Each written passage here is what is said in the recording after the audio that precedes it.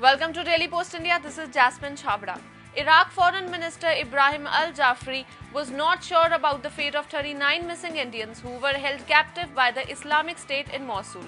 He said there is no report about them whether they are dead or alive and added that Iraqi government is doing its best to locate them. Earlier, the Iraqi embassy in India informed search operations are underway to locate the 39 missing Indians and assured there is a high level coordination between concerned Iraqi and Indian authorities to locate them. The government has already sent two high level senior delegations to Iraq to follow up this matter.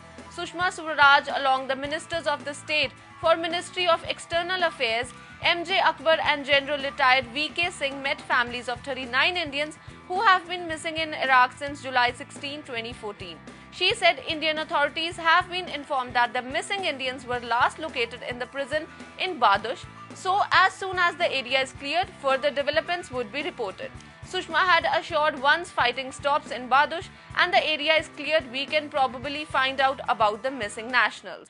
Thank you for watching and for more updates, you can follow our Facebook page Daily Post India and our website www.dailypost.in.